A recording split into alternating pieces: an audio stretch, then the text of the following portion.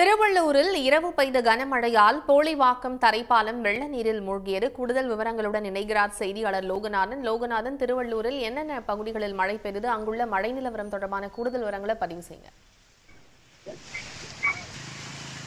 திருவள்ளூரில் நேற்று இரவு இடி மின்னலுடன் கனமழையானது கொட்டி தீர்த்திருந்தது. இதன் காரணமாக திருவள்ளூர் அடுத்த மப்பேடு எரியாமங்கலம் கம்மார்பாளையம் உள்ளிட்ட பத்து கிராமங்களுக்கு மேற்பட்ட ஏரிகளில் வரத்து கால்வாயில் நீர்வரத்தானது அதிகரிக்க கூடியிருக்கின்றது. இதன் காரணமாக இந்த ஏரியில் நீர்வரத்து கால்வாயில் வெள்ள நீர் வெள்ளப்பெருக்கு ஏற்பட்டிருப்பதால் திருவள்ளூர் ஸ்ரீபெரும்புதூர் இடையிலான கோழிவாக்கம் அச்சிக்குளம் இடையிலாக உள்ள இந்த தரைபாலமானது தற்போது முழுகடித்துள்ளது இந்த வெள்ள நீரால். இதனால் வாகனங்கள் பெரும் சிரமத்திற்கு கடந்து செல்லும் நிலையானது ஏற்பட்டிருக்கின்றது.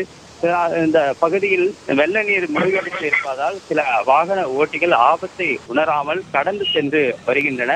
தொடர்ச்சியாக பருவமழை காலங்களில் இந்த பகுதியிலான இந்த வெள்ள நீர் முழுகடித்தால் போக்குவரத்து பாதிப்பானது ஏற்பட்டு வருவதான தொடர்கதையாக நீடித்து வருகிறது. இப்பகுதியில் ஒரு மேம்பாலம் அமைப்பு விரைவில் அமைத்து தர வேண்டும் எனவும் இந்த வாகன ஓட்டிகளானது அரசுக்கானது கோரிக்கை விடுத்திருக்கின்றன. தகவல்களுக்கு நன்றி லோகநாதன்.